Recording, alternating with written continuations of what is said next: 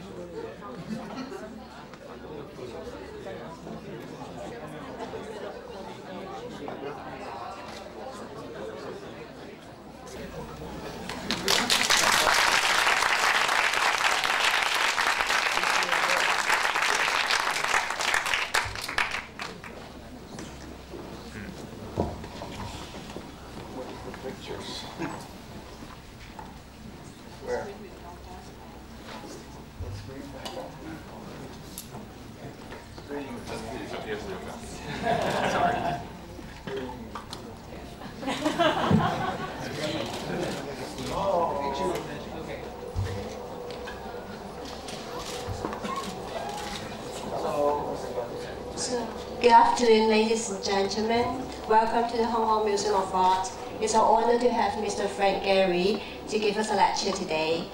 We are also pleased to have Mr. Tan Hoi Chiu, the Chief Curator of the Hong Kong Museum of Art, to give a welcome speech and an introduction on Mr. Gehry.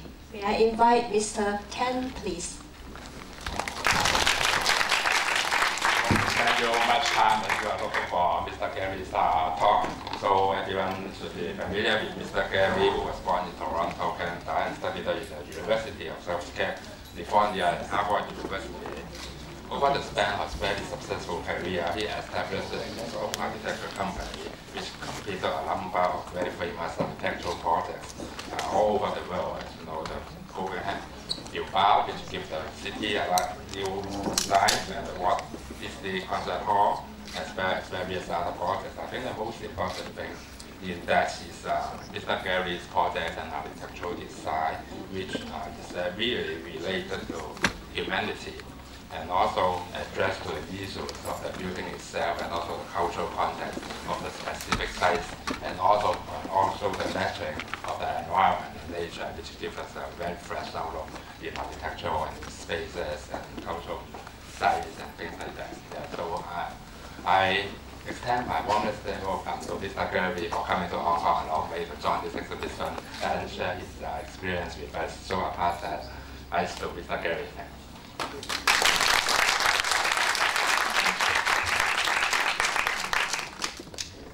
I don't know why I'm here, actually. um, I, I have not been doing many lectures lately because I'm tired of looking at the same pictures. um, just before I start, uh, there are, there's architects in the room, right? Architects, there's an architect. Some architects, put up your hand, architects. Okay. Well, I'll talk to you for a minute. Forgive me, I'm talking to architects. In, in my experience as an architect, um, the, we are hired by a client to do a building, and we start work on the building, and they, uh, it's a nice, it's usually a love affair. Very, everybody likes everybody. They're, you uh, are very friendly, and uh, you design a building, work with them very carefully, and you design a building that's very uh, much to their needs and to their budget and all those important things. And then the project is put out to tender, and it's put out to tender, and it comes back and it's over budget. Have you experienced that? And as soon as it's over budget, the client who has a, a, specific amount of money to spend on this project then uh, loses trust in you as the architect because um, you've created this wonderful thing, but they can't afford it. And so they turn to the contractor, the construction company. And at that moment, the architect becomes infantilized and the construction, the guy becomes parental. That's how I talk about it. And so, for over the years, and I'm kind of old now, but over the years, I didn't like that idea. I didn't like being put in that position all the time. And I suppose you are young architects won't like that in the future. So I tried to figure out how do you how do you break this knot? How do you change it? How do you change the game? And by coincidence, I was doing shapes that needed help, and I got involved with the computer. It led me to um, uh, fancy aircraft computers and a relationship with uh, a French company, Dassault. Um, the working on the projects with that those that software, I found that the uh, the precision of that uh, kept me in power longer in the equation. So I didn't become the infant till much later. I could stay parental longer. And uh, that intrigued me, and so with a group of people, we started a, a, a group to explore how this could be better for the, for the industry, for the architects, and to take more responsibility for, rather than less. And so we developed a separate company called GT, and that's what this is all about. Um, and it's, um, it, it made it possible to do all these kinds of projects. And the uh, Bilbao project, for example, the uh, steel that builds that is uh, very complicated. And uh, we trained six separate uh, contractors to bid on the steel. And uh, when they bid, their bids came in, they were 18% under budget, which was amazing, and 1% difference between all, the, all six of them. So when you get that kind of response from construction, you realize that the, the uh, documents are precise and very uh, uh, safe to accept. Usually you get one contractor higher and one lower and all over the place. And, and when they built it, they, they were able to build it within that budget. They made uh, one mistake that uh, we, but we had 18% savings, so we were able to, to give them a little extra money to cover their mistake. Um, next. So then this uh, idea started to be used by other people, which uh, uh, Ove Arup used it with Herzog. And then uh, many other projects, and uh, Swire uh, from Hong Kong, who we were working with, uh, tried it on their uh, uh, one of their projects, which is just completed in Hong Kong. Next. Uh, this separate company now has offices in all of these places. And uh, I don't know what they're doing, but the, everybody seems to be happy. and then the projects we're working on, this company's working on, are on all those blue and yellow spaces. So they're very uh, spread around. Most. And in um, one of the projects, I don't know how really to explain all this because I'm the wrong guy, but we have an, a small office here uh, in Hong Kong. Um, this is uh, Manhattan, ground zero, and the problem is that if they build all of it at once, it'll be the biggest traffic jam in history, and nobody will be able to get to work, and the materials won't be able to get delivered on time, and there'll be a mess. So with this software, we were able to, to analyze this problem and schedule all the pieces, and so everything runs smoothly. Because when materials are delivered to the site uh, prematurely, they're left and they, they are wasted because they, uh, they get ruined, they get trashed.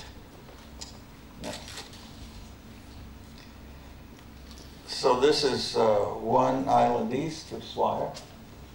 And it's, it's built now, and we were uh, able to save uh, considerably on the construction costs with, uh, by, by the, uh, by fast tracking and by minimizing the number of clashes in the field. Next. Uh, This is one example of the clashes that were found. Uh, You can see as the uh, the pieces of the building were brought up and delivered to the floor.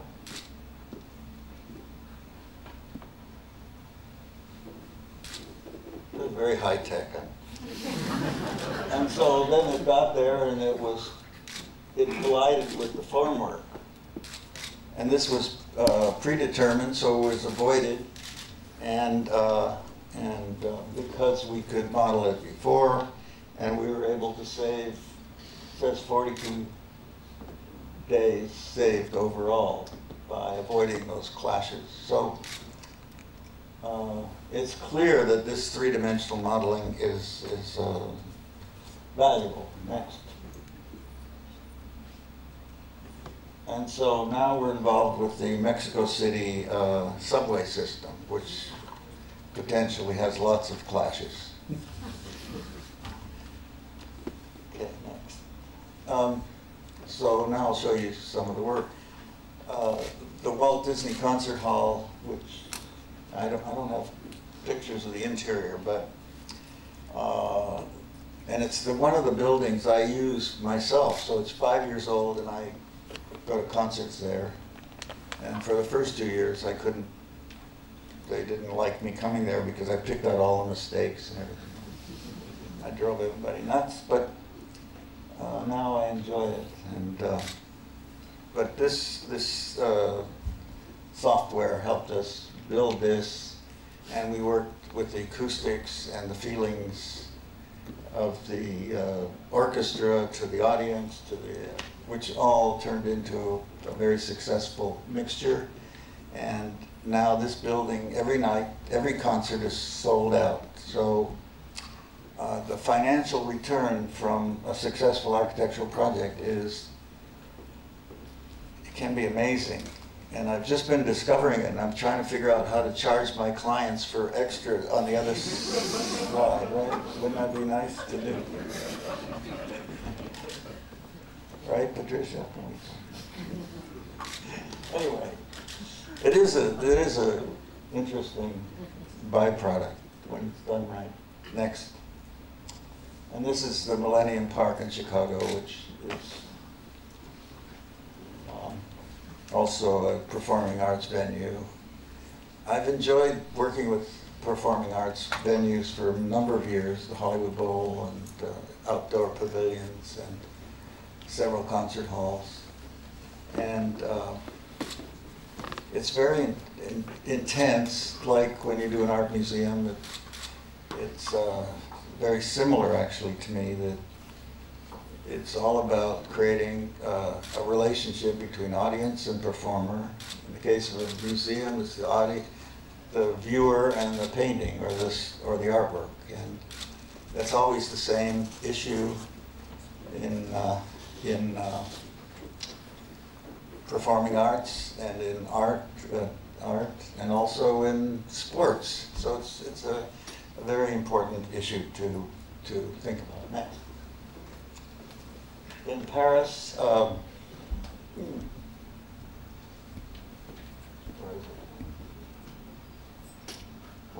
Here. That's the Jardin d'Acclimatation. It's a children's park. And when Bernard Arnault took me to visit this children's park and asked me if I would uh, help him design a museum for his uh, foundation collection, I thought I just entered a Proustian environment. and it felt, I, I was very emotional about it because of that. Uh, um, next. this is the design, but you, can the model's upstairs, so I forgot that it was upstairs, so you don't have to look at it hard here. It's better to look at it upstairs. Next. We started with uh, these kind of study models and did do many of them with every, next. And the interiors, and it, it became obvious to us this needed to be two buildings, an outside building which, which is a garden structure, and then a- an inside building which is for galleries. And we studied many configurations. Next. Next. I do, I do tons of these kind of sketches. Uh, They don't make any sense until after the building's built, and then they make sense. When I drew that, I didn't know. Next. Next.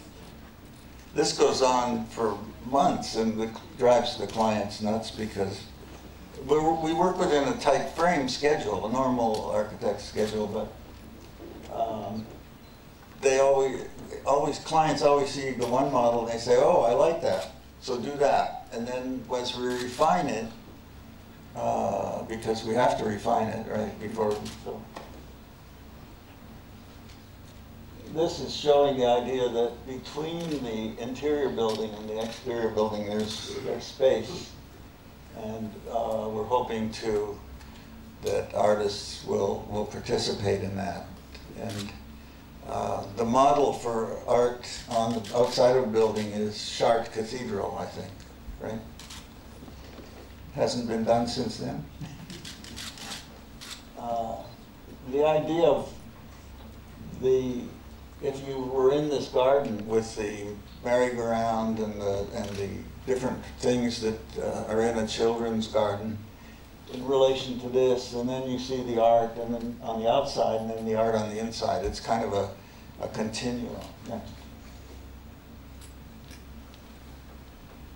Next. Next. You- I don't know if they're gonna do that, but. Um, I'm gonna try and go through these quickly so people can ask questions. I'd rather have you ask questions. This is in Israel, uh, a very controversial project that was started five or some years ago.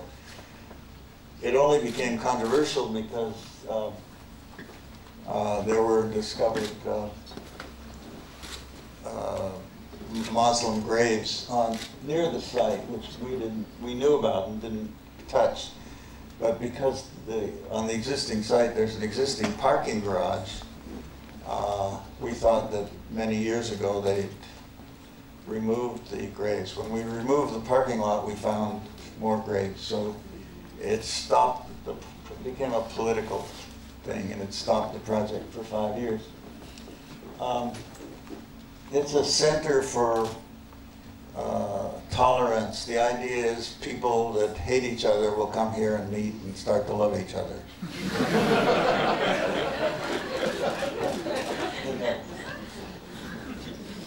Uh, This is the museum, there's a children's museum, uh, there's a conference center, there's a theater, everybody has a bookstore, even a tolerant, a tolerance bookstore. And, and, and then this, uh, next. I was trying to make a room that, uh, when you're in it, it felt accessible symbolically from all sides, so 360 degrees accessibility. And then this is the Children's Museum. Next. So inside, it's a big convocation hall uh, for banquets and meetings, and it, it brings in light from all of these uh, areas. And then the ceiling, next, has kind of an aperture. I think they're gonna build it now. Next. Uh, This is Abu Dhabi, where we're building a Guggenheim uh, Art Museum. It's, uh, uh, the same uh, people that I did uh, the Bilbao with. And we start out with uh, these models. I'm just showing you nine of them, but we had over 30 of them. And each one is a different, they look kind of the same maybe, but uh, there, some are more compact, some are more expanded, uh, some are higher, some are lower. And, and we explored the cost differences between these strategies so that when we presented the alternatives that we considered to the client, they could uh, make a value judgment based on their budget. This was the, uh, this is the final uh, outcome of all of that. And it's a museum for art uh, and Islamic art, as well as uh, Western, as well as Asian art. So there'll be uh, a, a, a mixing of, of uh, world art. And uh, some of the meetings with the curators and the, and the artists have been extraordinary. And, and uh, it's, I think it's, it's, uh, I'm very excited about what this will, uh, will, could achieve in terms of understanding, cultural understanding between uh, different cultures. There'll be uh, art and architecture and design as well. Next. Uh, These are like the Indian teepee, so the hot air, the hot air goes up, up there. Uh, And it, it's a way of just, first of all, creating outdoor, uh, covered outdoor space for sculpture outdoors, and also for cooling the outdoor space. When we started, uh, all of the outdoor spaces were going to be uh, treated like this.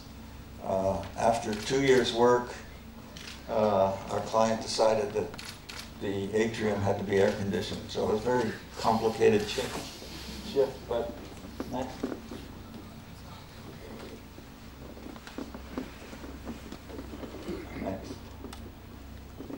This is in uh, Miami Beach, Florida. It's a small concert hall and next to a park. And in the park, there'll be uh, seating to look at a, a uh, big screen of the conducting inside. And it's a very tight budget, so it's, it's really just the box with a glass wall, and then uh, inside is this uh, little village of, uh, of uh, what do you call it, those rehearsal rooms and the concert hall is here, inside. So from the park, this is the entrance, and you see this stuff. Next. And the concert hall is 700 seats, and it's uh, for Michael Tilson Thomas, who's the conductor of San Francisco Symphony. And uh, when he was eight years old, I used to babysit him.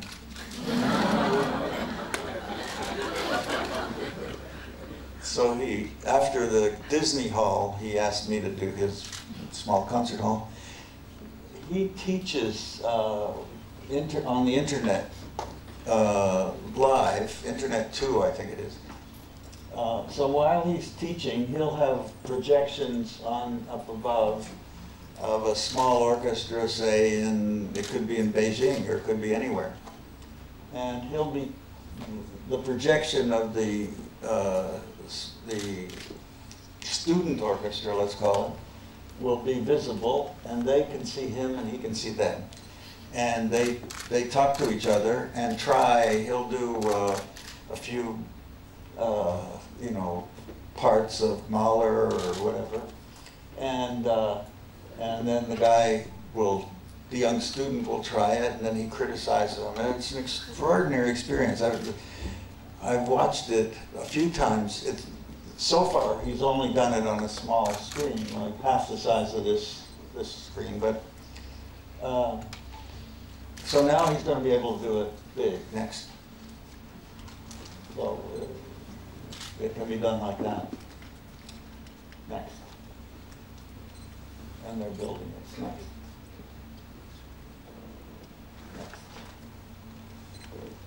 Uh, This is in Manhattan, it's a small office building on the west, west side, west side highway. Uh, And these are many studies. Next, the final study. Uh, So it's not many floors. Next. But when it was being built, the, uh, they got a lot of phone calls saying, your columns are crooked.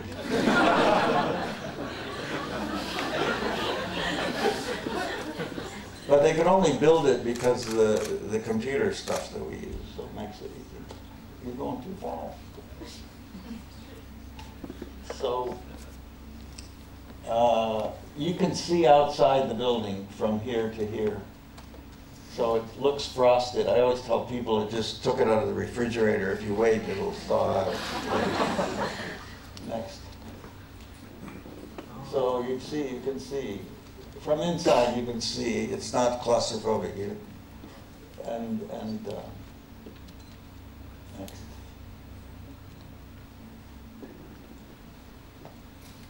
Next.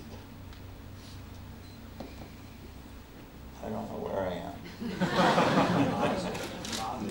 Is yeah. Uh, Novartis, uh, Novartis, the pharmaceutical company is doing a campus, and all their buildings look like this. And then they invited us to do a building that looks something different. Uh, This, this is the one we built. It's a, uh, for human resources, so it's sort of the center of the campus and next to a park. Next. So these were our model pictures.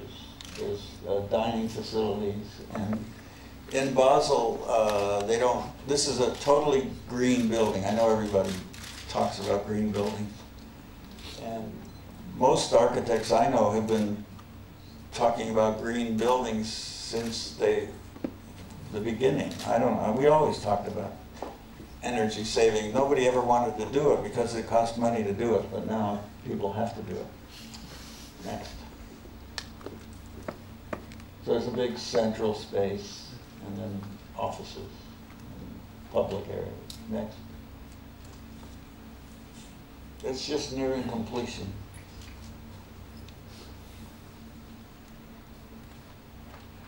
The, let's go, see if you can see it here, little squares.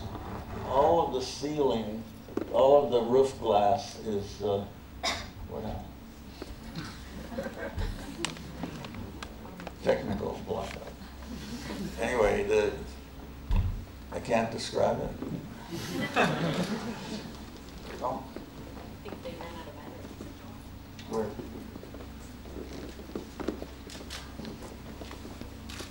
Here comes technical help. Um, anyway, the building is, the ceiling glass is photovoltaic, so it gathers energy. And, uh, there's a, uh screen between the glass and the screen for sunscreen. And, uh, you got?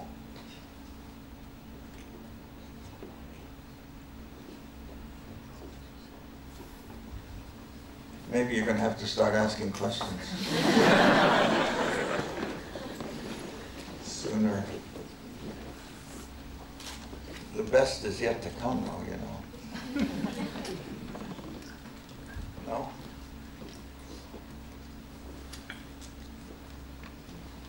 Very high tech here.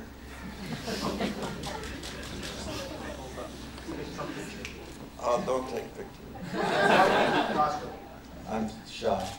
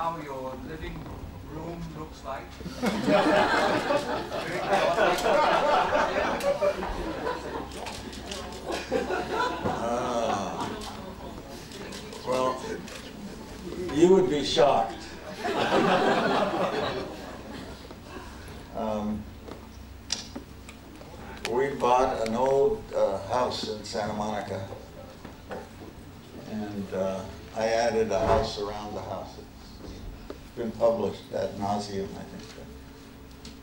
Ooh, Wait a moment. And uh, uh, I have lots of art. I have, uh, we collect artists that are friends like Ken Price and Ed Ruscha and Ed Moses and Banks William. Mostly LA artists. I have uh, uh, Rauschenberg and stuff. People who are a friend. Okay. I'll, I'll do this quick and then we can, next. Next. So these, um, these, there's shades that come down and, and the hot air rises in that space. So when the shades are down, you know, it's like a double skin. But you can see out, you can always see out. And this is that main central atrium space. I was born in Toronto, Canada, this is, um, uh, this was the corner that I used to spend, I used to come take a streetcar here. Uh, My grandmother's house is down the street. This is the Art Gallery of Ontario. And it was a very Jewish section, now it's a very Chinese section. Um, So maybe you can see some. And it's uh, a long, uh, take from this block to there, it's a long block. And I this, this, uh, uh, with glass, so there's kind of a mirror of the environment. Next.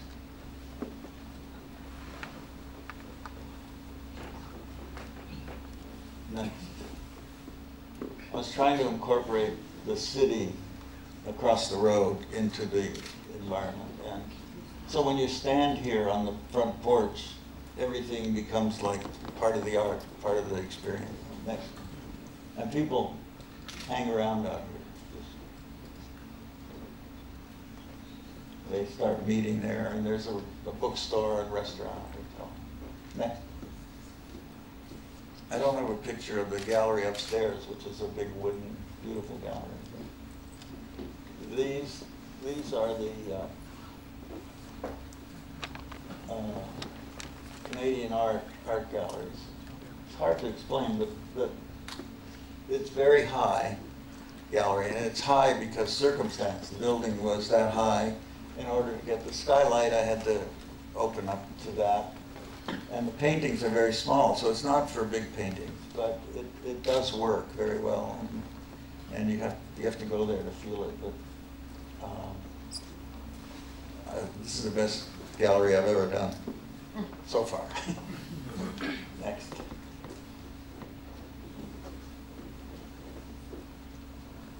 Next. The uh, benefactor for the collection, who passed away, had a collection of ship's models, and so we made this uh, gallery with ship's models. Uh, for children to come and get involved with art. If children come to a, a museum, they would normally look at this first. and on the walls, I, I convinced the, them to buy some uh, drawings by Van de Velde, the 17th century painter that, uh, of ships. So it's a, a kind of an introduction to art related to the topic that he was interested in. Next. Next. And the back, this is the park where I played as a, as a child. Next. Uh, this is in Manhattan. Um, it's a uh, residential tower. Uh, very tight budget, very, very constrained um, uh, programming because, uh, like everywhere, people want apartments that are normal. They don't want any fancy because uh, they don't have furniture and they can't afford. Uh, so I wanted to give it some life other than just a flat facade.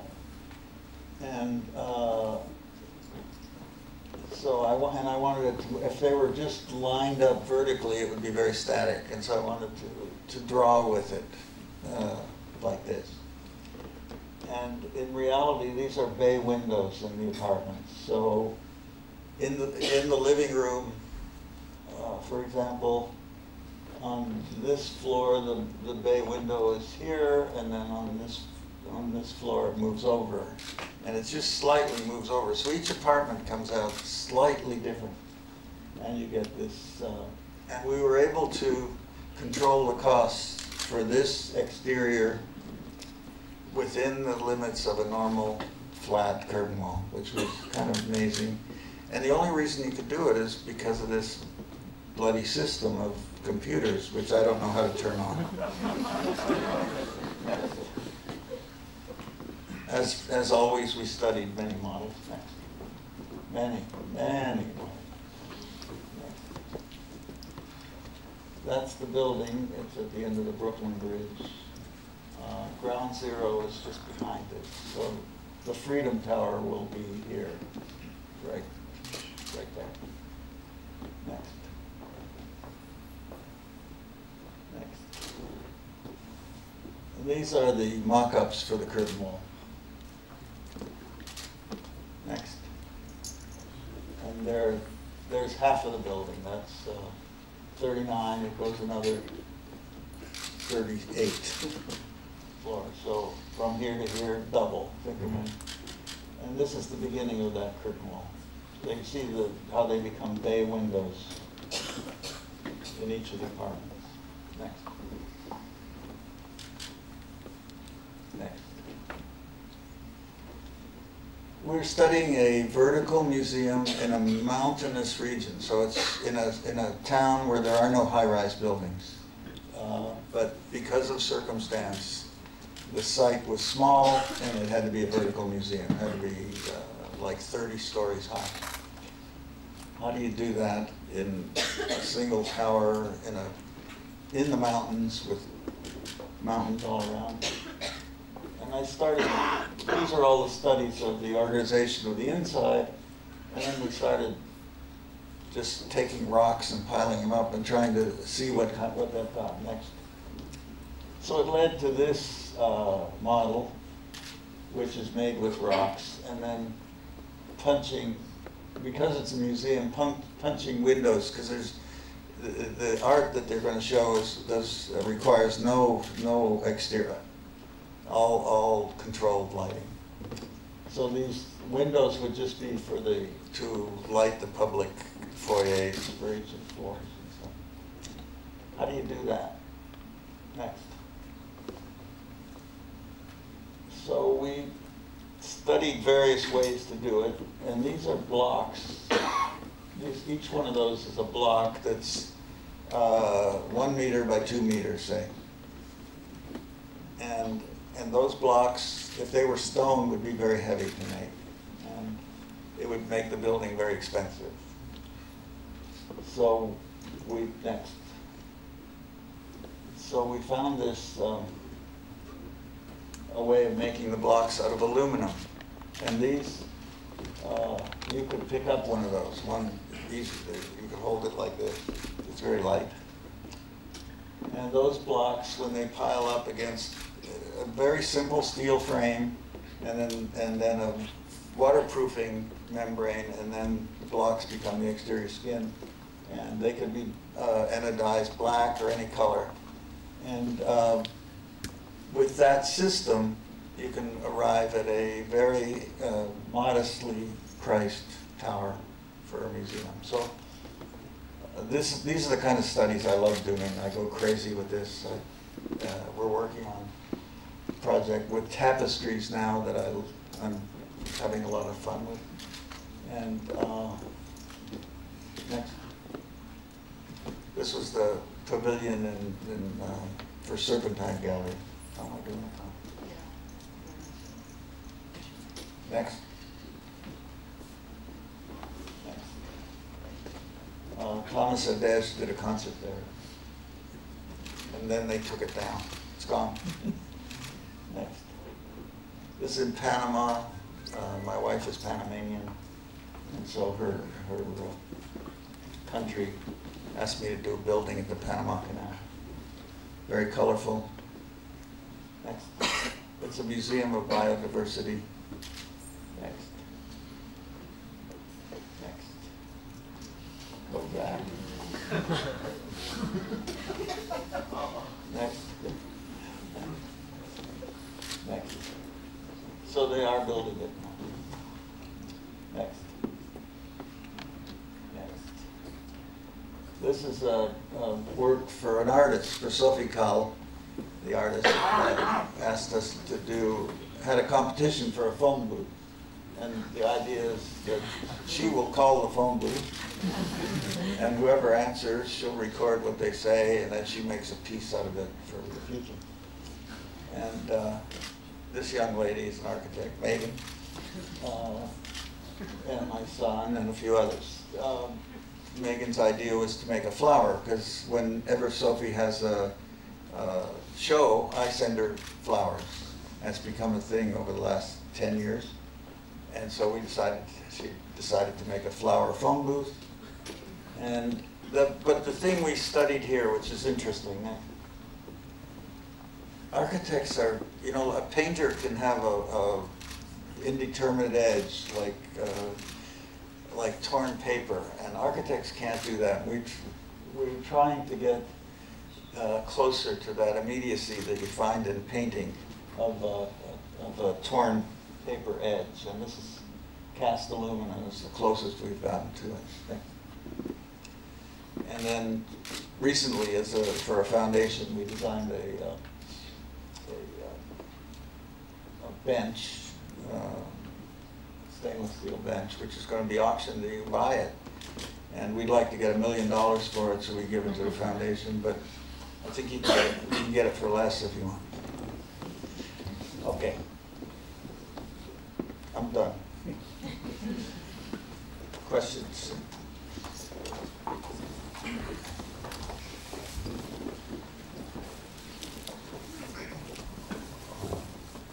Um, it's the time for question again. Anyone yeah. Hi. Um, you spoke a lot about uh, materials and forms. Um, what about whenever you build a building, um, the reference points of the surroundings, the culture, the climate, everything else? Um, how do they come into? I didn't, I'm not hearing you very well. Sorry. Hi. Yeah. Hi. You spoke a lot about materials, um, forms, shapes.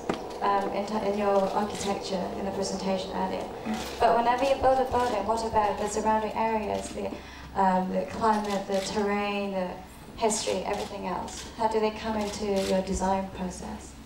Yes, yes. Yeah, I'm a normal architect, you know, I do, I pay attention to climate and site and client's program client's budget and all of those important things. And even green issues. I, we just don't talk about it that much because it, that seems so matter of fact and intrinsic to being an architect that, that it sort of seems like a given. Of course I do that. I wouldn't be here. I wouldn't, I wouldn't be allowed to build buildings if I didn't do that. It's very critical. I mean, you can see that, that, that uh, even though I, you know, you can't escape your own language, and, and, but I try to do, I try to uh, work with where I am, with the, the place, the sense of place, and, and like the building for the mountains is, has, has some gesture to, to that place. Um, in the case of uh, this, buildings like Bilbao and Disney Hall, uh, since the beginning of architecture in time, uh, public buildings like uh, museums, art galleries, uh, courthouses, libraries, uh, have, have been uh, treated as, as special in the city. So they, you go to cities and you see the, the most iconic buildings are those public buildings. And so in those cases, the, the, uh, it seems appropriate to make them special. Uh, But even Bilbao, if you have, if you just see the pictures of it and don't go there, you don't realize that it does fit and locks in very carefully with, with, uh, which is something I, I, I feel it's important to be a good neighbor. Uh, even though I design buildings from the inside out, which people don't realize, they think I do it the other way, but uh, I don't.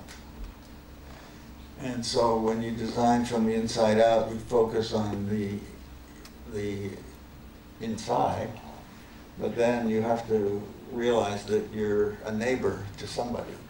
And so there has to be attention paid to, to the exterior and sort of how it fits into the community, how it fits into the culture, how it fits into the program, and then the budget.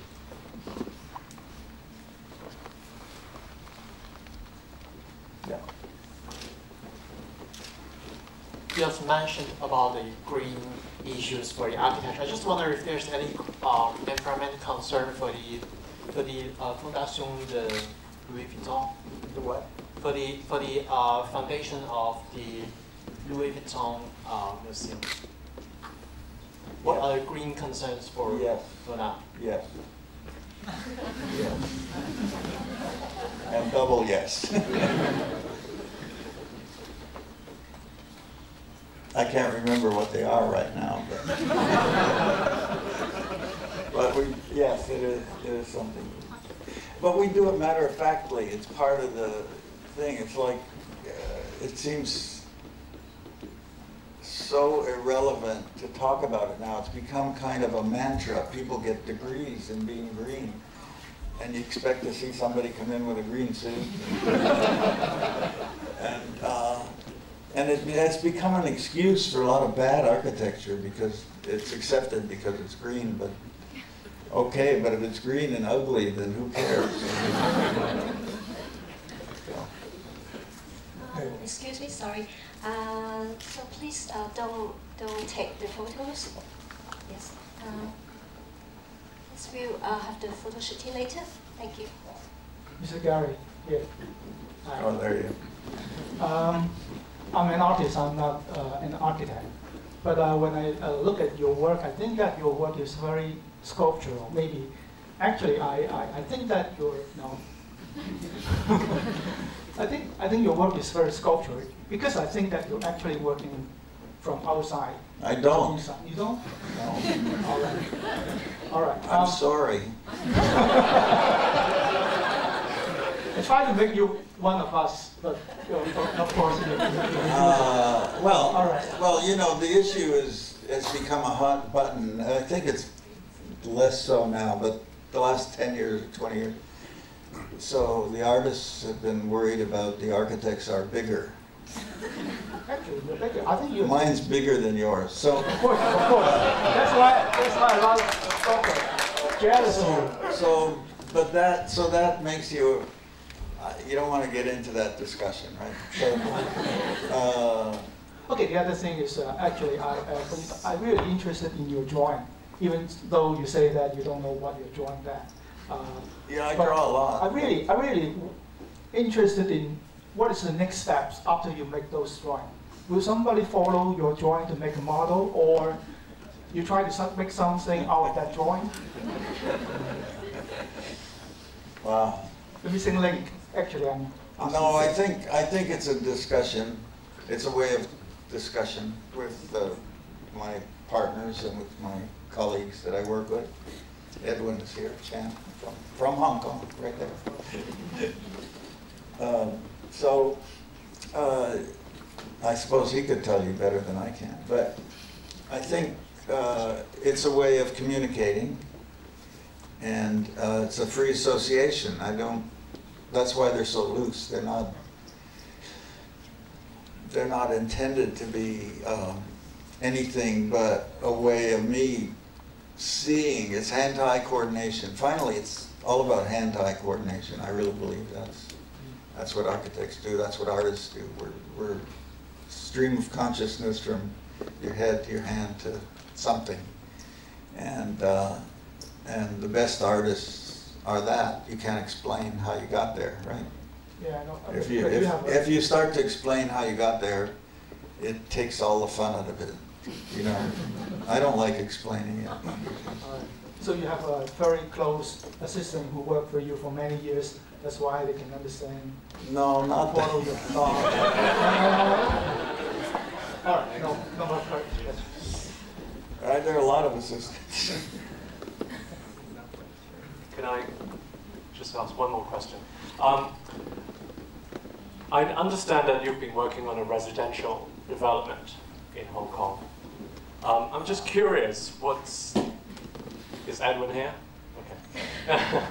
um, what's the main difference between working on a residential development in a place like Hong Kong, which is governed very much by, say, Chinese culture or Hong Kong way of life, as compared to doing things in Paris, for example? Well, it is different. Yeah. Um, First of all, residential is in a way less of a, uh, you know, it's a multiple, it's a multiple use thing. uh, And, and is, requires a certain discipline in, in the repetitive issue. You saw it in that high-rise building. I mean, the building is quite a normal building, a normal high-rise with, the floor, floor plans are very efficient and all of that. Uh, Less opportunity to be iconic like uh, the concert hall or like the museum, and less reason to be that. More reason to be, uh, uh, to deal with the fine grain of, a, of, of the multiple, multiplicity of the uses within it. So it's, uh, it's it just, just designing museum, designing housing, two different things, right? And so the housing has, for me, has to be quieter. It's, it's not, uh, uh, so, hey, look at me, it's not like that. Um, and then the cultural requirements and issues come into the planning of the floor areas and the, uh, and a lot of discussion we had in the office, and of course, you know Edwin, he's from here, so it was um, helpful to have him uh, sort of lead the way. Um, But sometimes he got out of hand. Because he wanted to push it. You know, he, probably because he is from here, like, he felt licensed to, to do things that I would probably have been too polite to do. Does that make sense? So it's, it's a very interesting dynamic. But it is a very personal thing, right? And it is a relationship, uh, and, and it, um, I've been here a few times. I don't say I know it, but uh, uh, I, I have a gut feel about it. That, and I think we responded to, to those issues you're talking about. we'll only know when the building's done. I have a good track record for doing that, though.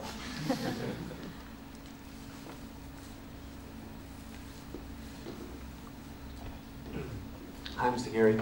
Um, aside from your uh, building projects, you've also um, done smaller things like uh, watches for Fossil and uh, some jewelry for, for Tiffany. Um, what other non-building projects have you got coming up, and do the buildings influence the, the small objects and vice versa? Uh, yeah, I think it's a very similar. Uh, uh, you know, our, I I've been designing furniture for years as part of my normal.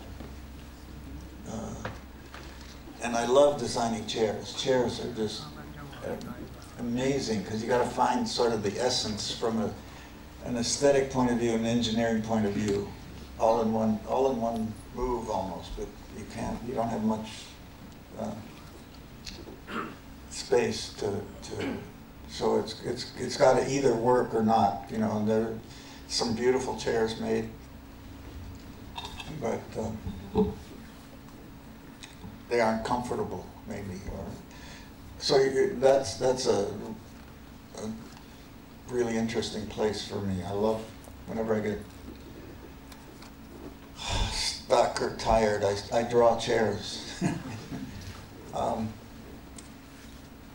and it's very hard, and I love that it's hard. So it's that's a the the jewelry I, I didn't start to design jewelry. I started out to design uh, this kind of stuff, tableware and, and uh, things like that.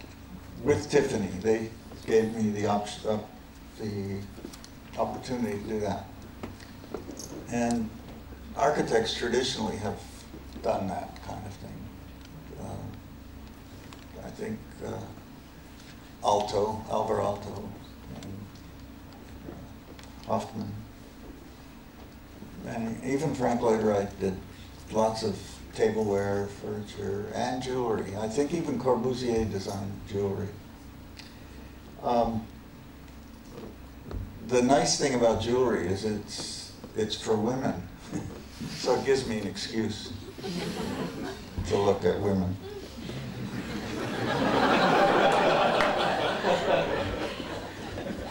You have to study the context, you know.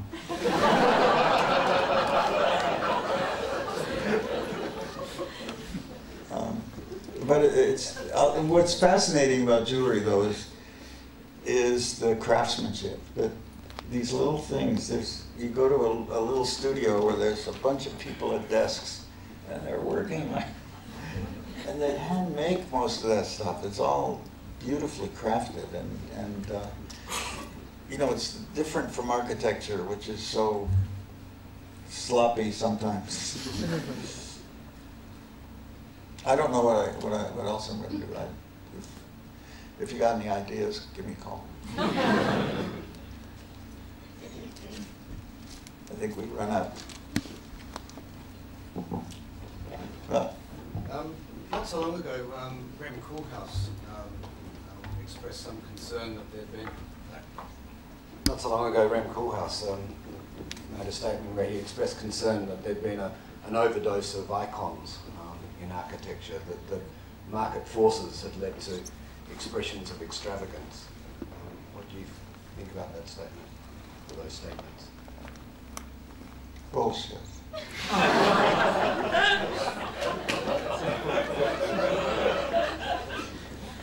no, I think it, it's obvious what's happened. You know that that uh, we went through a period of the, the, modernism where everything was sterilized, and then people hated it because it wasn't humanistic. It didn't have any any feelings, and so then postmodern guys brought history back, and we started looking at it and say, why do we why do we have to re rebuild the past if we want to go forward? So Others, like myself, have said, well, let's find a way, a language that incorporates human, humanistic tendencies into the modern building character. Uh, and that's led to uh, for me, finding a sense of movement to replace decoration. That's all I was trying to do. Uh, I was emulating the Greek Phidias. I was emulating the the uh, Indian dancing thing. Uh, and the the notion that that's excess is it could be, and some people have done excess with it. Uh, Bilbao was built for $300 a square foot. So it may look excess, but it ain't excess. It was very modest. The concert hall was built for $215 million. At the same time, two or three other concert halls around the country, which are square boxes, were built for 300 million plus, same program. So I don't think, I don't know what Rem, I mean, I hope he's not talking about me, but maybe he is. I think that the danger is there's this backlash, and when you do that, the press buys into it because it gives them something to write about, and they start poking at it and making these statements like, uh, they invented the term Bilbao effect, they invented the term Starchitect. I hate those terms. But if you examine the Bilbao effect for what it is in Bilbao, uh, the first eight months the building was open, it paid for itself. Finished, $100 million. Boom, paid.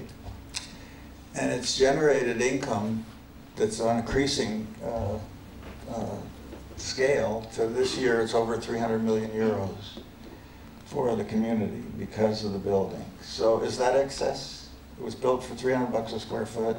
It's delivered a lot.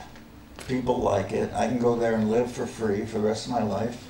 I never have to pay for food or hotel or anything. Uh, I don't think that's excess. Now, uh, you know, it, so, so you gotta be careful because you could drain the swamp again and go back to banality as a, as a excuse for avoiding excess. And then you add the green bullshit on top of it and it becomes like minimalist green is the future. And none of us will want to live in it because it may, it may, it'd be better to have global warming and get it over with than live in it.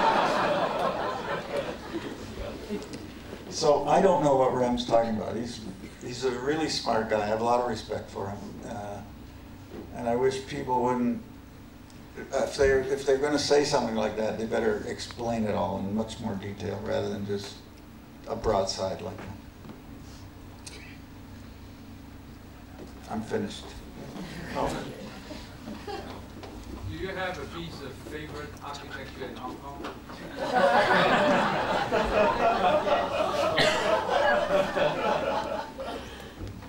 Wow. Not yet. I'm sure it's here. I just, you know, you got to forgive me. I haven't seen everything. Uh, I know that, like every city, there's little gems here and there. There's certainly historical buildings here that are quite beautiful.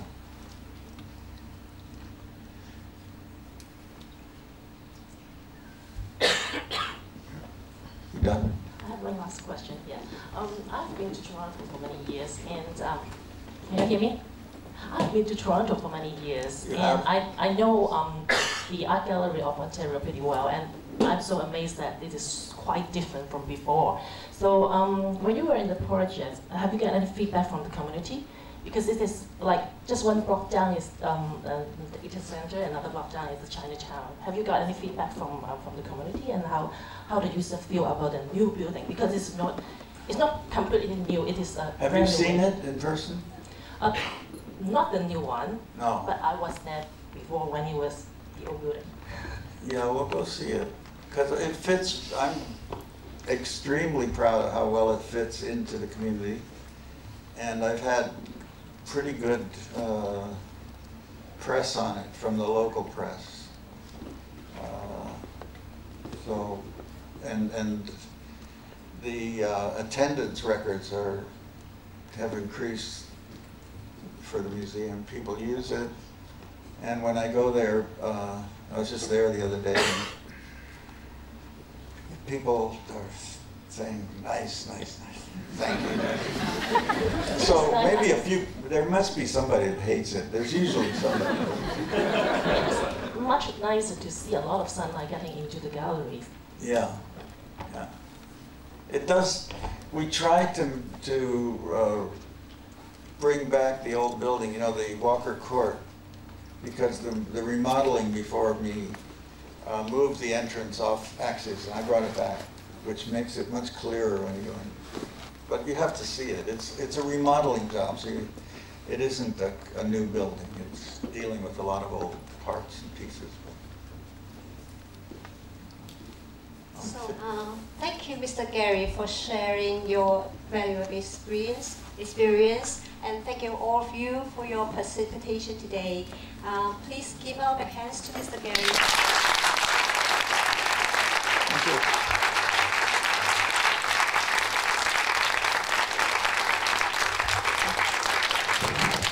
And tomorrow, we'll have two more lectures given by the curators of exhibition at 10 and 2.30. For more details, please take a handout on your way out. And right after this, starting at 4.30, there will be a lecture by Mr. Richard Prince. Don't miss the chance to meet the artist of any time. Thank you once again. Bye-bye.